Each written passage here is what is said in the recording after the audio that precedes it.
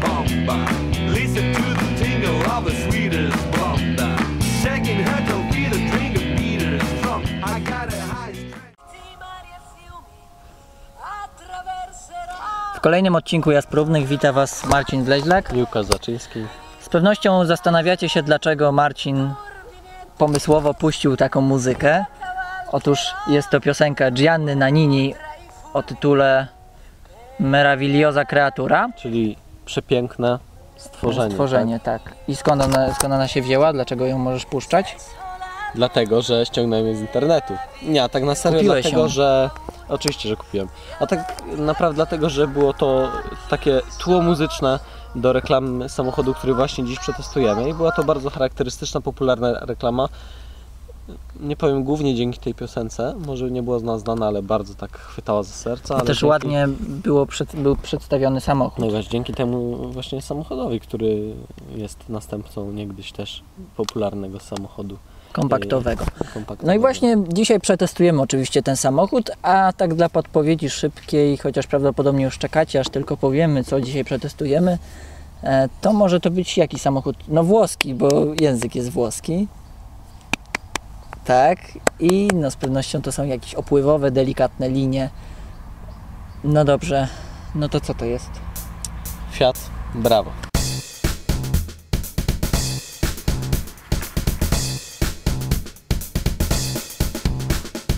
W sumie to bardzo cieszę się, że go nareszcie sprawdzimy, bo dzięki tej piosence z Gianną Nannini to ten samochód po prostu wyparł nawet Alfę Brere z mojego rankingu samochodów, którym chciałbym kiedyś jeździć. Ale nie no, mówię jak było. No. Mówię jak było. Ale, ale wrażenie zrobił na pewno. No. No i jest to ciekawe, no bo jest to kolejny kompakt Fiata, którego naprawdę Fiatowi nie brakuje, ale zastanawia mnie w czym jest on gorszy, no bo nie da się ukryć, że zdecydowanie bardziej popularni są konkurenci tacy jak Volkswagen czy Opel. No i chciałem właśnie, żebyście to dzisiaj sprawdzili. W czym i czy w ogóle yy, Fiat Bravo jest gorszy, Mhm. yy, czy chodzi o, nie wiem, o silniki, czy o komfort podróżowania, czy o wykończenie wnętrza, bo o wygląd no to chyba nie można się przyczepić. Yy, Tak więc no, postaram się to sprawdzić i, i powiemy jak nam wyszło. No.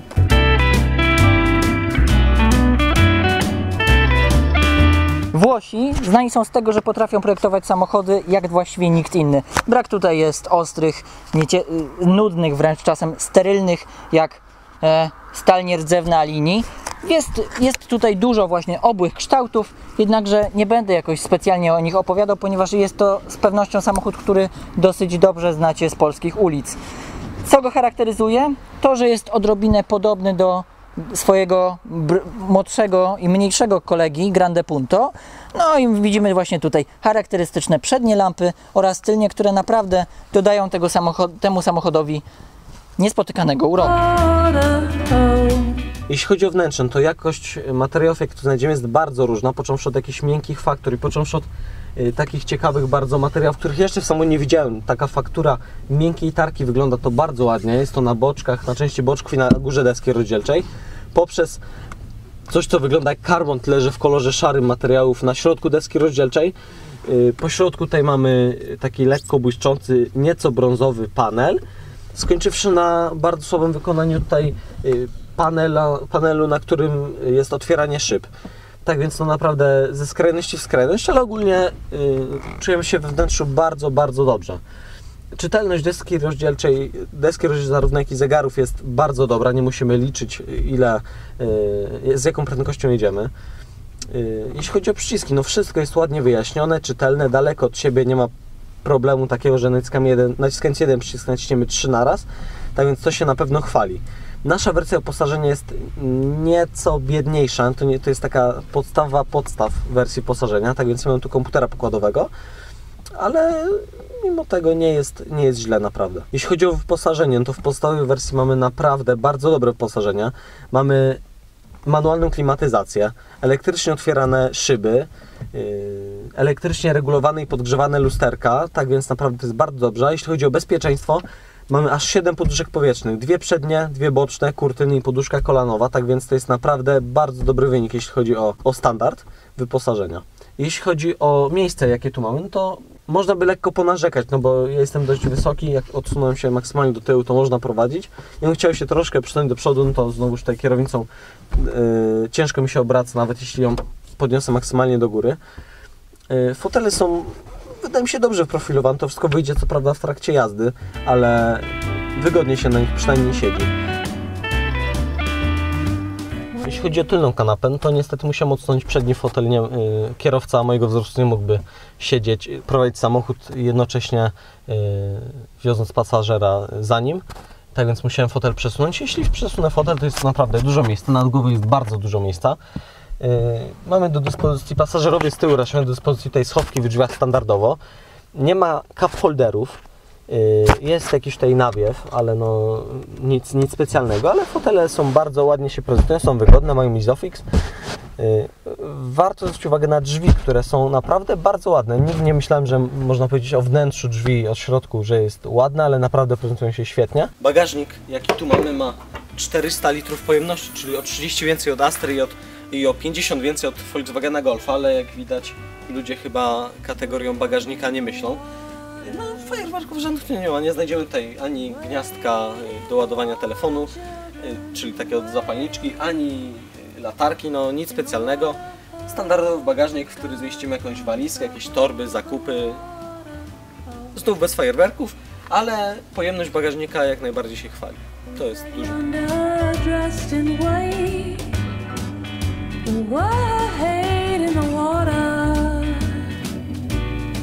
Testowany egzemplarz wyposażony jest w najsłabszy, akurat tak nam się trafiło, 90-konny silnik o pojemności 1.4 i napędzany bardzo popularnym paliwem, no bo benzyną. Skrzynia biegów, która go obsługuje, to manualna sześciobiegowa e, przekładnia. Samochód e, radzi sobie całkiem nieźle, jednakże z najsłabszym silnikiem no, nie może to być e, jakieś e, fantastyczna jazda, no bo rzeczywiście tej mocy trochę brakuje. Jest natomiast taka zasada. Mały silnik to mało pali, mało palący silnik, mało kosztujący. Też e, generalnie jest to o tyle fajne, że rzadko bywamy na stacjach benzynowych. Ma to swoje plusy i minusy. Plusem jest to, że więcej kasy zostaje w portfelu na jakieś tam następne zakupy, a minusem jest to, że na przykład nie dostajemy punktów w programach partnerskich, za które możemy sobie kupić później elektryczną szczoteczkę marki jakiejś tam z napisem Statoilu na przykład. Oj, oj, oj, oj, teraz się rozpędzamy. A skoro się rozpędzamy, to myślę, że warto powiedzieć o prędkości maksymalnej. Jest to 179 km na godzinę. Setkę osiągniemy tutaj po 12,5 sekundach. No nie jest to fantastyczny wynik, ale naprawdę samochód z tak, małą, z tak małym silnikiem o tak małej mocy, myślę, że od takiego samochodu nie można zbyt wiele wymagać. Należy wy, jednak wymagać od niego niskiej ceny, o której myślę powiemy później. Zdecydowanie jest to auto po prostu dla studenta, który czasem chciałby jednak dotrzeć na jakiś wykład, jeśli mu się już uda obudzić w miarę wcześnie i po prostu spokojnie na niego dotrzeć, a później z jednego budynku do drugiego, jeśli studiuje na uniwersytecie. Teraz spalanie. Właściwie przy autach kompaktowych jest to najważniejsze, więc nie wiem dlaczego nie mówiłem o tym od samego początku. W cyklu mieszanym producent podaje, że samochód spali 6,3 litra na 100 km i powiem szczerze, że mm, zgadza się to. Nam udało się osiągnąć wynik 6,8 litrów na 100 km. No oczywiście każdy może się pomylić i być może nasze warunki nie były aż tak e, izolowane jak te e, u producenta włoskiego. Poza miastem będzie to 5,2 litra na 100 km, co jest też również całkiem niezłym wynikiem. Myślę, że bardzo istotnym czynnikiem e, w takich, samochodów, w takich samochodach jest układ trakcyjny. Układ trakcyjny może spowodować niejednokrotnie uśmiech na naszej twarzy, nawet jeśli po prostu e, cała reszta e, nie wypada zbyt dobrze. No i jak jest w tym wypadku?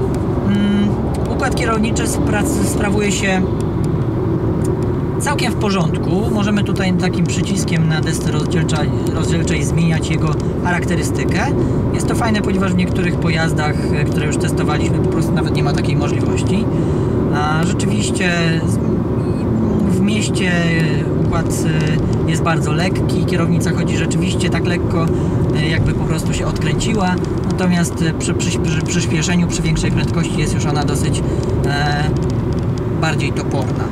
Jeśli chodzi o y, zawieszenie, to zostało ono zes- zestrojone raczej komfortowo, jednakże możemy pozwolić sobie tutaj na e, gwałtowne, dynamiczne zmiany pasa lub też e, skręty w lewo lub w prawo. E,